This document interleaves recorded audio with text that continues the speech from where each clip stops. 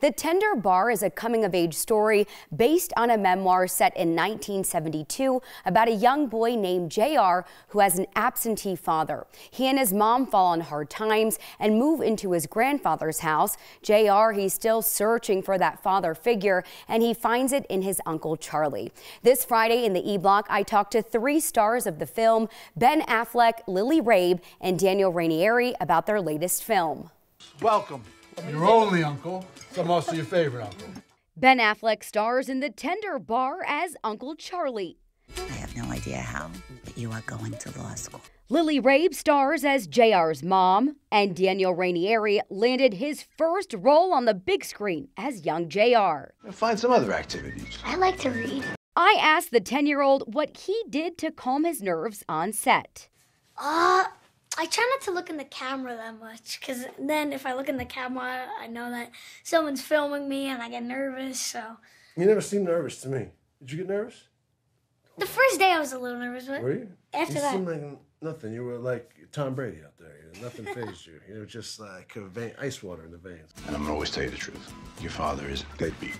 Playing Uncle Charlie, you are like this father figure to JR. Being a father yourself, what really resonated with you in that role?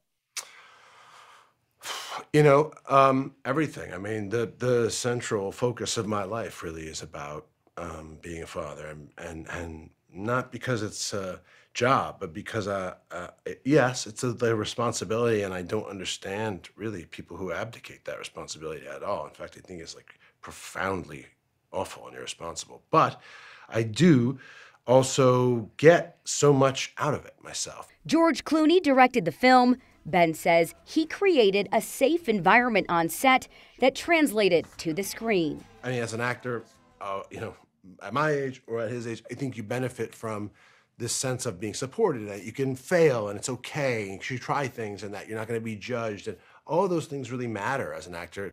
Lily, it's such a great message of family and love and support, uh, considering all the turmoil we're experiencing in the world right now. What do you hope people take away from the film?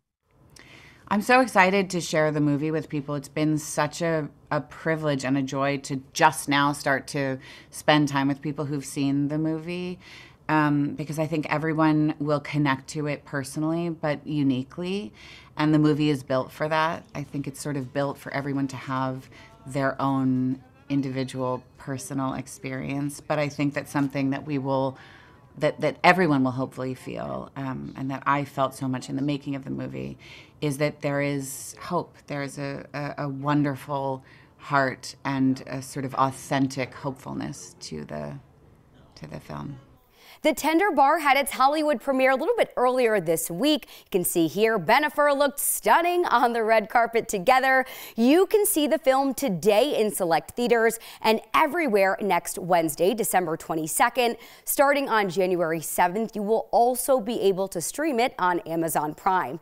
The Tender Bar, again based on a memoir by Pulitzer Prize winner J.R. Moehringer, who, fun fact, used to live here in Denver. In the studio, Erica Lopez, 9 News.